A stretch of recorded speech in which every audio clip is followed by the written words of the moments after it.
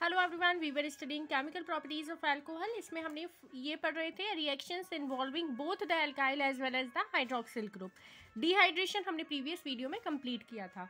अब हम oxidation study करेंगे। Oxidation of alcohols involve the formation of a carbon oxygen double bond with the cleavage of an O H and C H bond ये bond break होता है यहाँ से देखिए।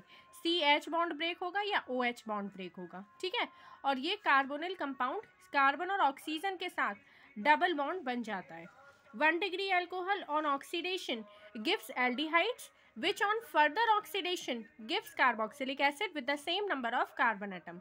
One degree alcohol को जब हम ऑक्सीडाइज करते हैं तो हमें एल्डिहाइड मिल जाता है। एल्डिहाइड्स मिलता है ठीक है, उसको हम जब फिर से ऑक्सीडेशन करते हैं एल्डिहाइड को तो कार्बोक्सिलिक एसिड मिलता है। उसके साथ same number of carbon atoms भी होने चाहिए कार्बोक्सिलिक एसिड में, ठीक है?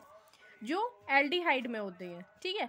देखिए वन डिग्री एल्कोहल है ऑक्सीडाइज किया K two C R two O seven H two S O four और alcoholic K M N O four की प्रेजेंस में, ठीक है? एच टू ओ रिमूव हो गया है और एल्डिहाइड की फॉर्मेशन हो गई है।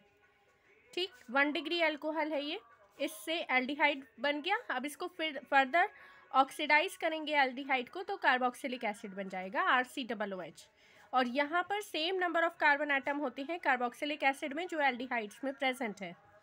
देखिए, ब्यूट टू ई नोल है यहाँ पर पीसीसी की प्रेजेंस है यहाँ पर, ठीक है? तो ये किसमें कन्वर्ट हो रहा है? ब्यूट टू ईन अल में। एल्कोहल जो है, वो एल्डिहाइड में कन्वर्ट हो रहा है, ठीक है? अब देखते हैं टू डिग्री अल्कोहल को जब हम ऑक्सीडाइज करते हैं तो क्या होता है?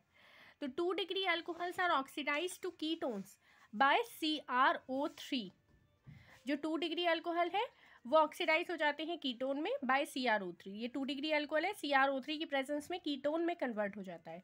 और जो थ्री डिग्री अल्कोहल होता है, वो ऑक्सीडेशन रिएक्शन को नहीं करता as they do not have alpha hydrogen यहाँ पर अल्फ़ा हाइड्रोजन एबसेंट होते हैं थ्री डिग्री अल्कोहल में, इसलिए ये ऑक्सीडेशन रिएक्शन को यहाँ पर नहीं करता है।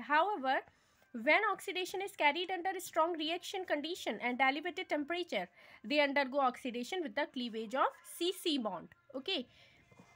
अगर स्ट्रॉन्ग रिएक्शन रिएक्शन कंडीशंस में एलिवेटेड टेम्परेचर पर अगर ऑक्सीडेशन थ्री डिग्री अल्कोहल की करवा भी देते हैं तो यहाँ पर कार्बन कार्बन बॉन्ड का क्लीवेज होता है।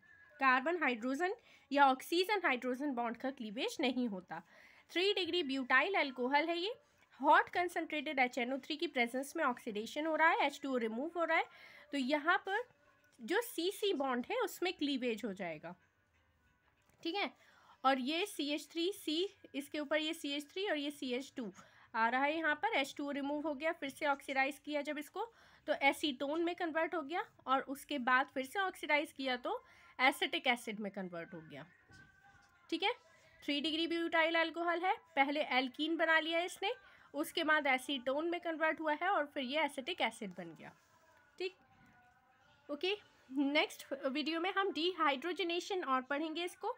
फिर ये कंप्लीट हो जाएगा। उसके बाद हम प्रिपरेशन ऑफ़ फिनॉल स्टडी करेंगे। ठीक है? On this channel, we will provide you best content of PCB. If my videos are helpful for you, then please subscribe this channel Learning Point. Thank you.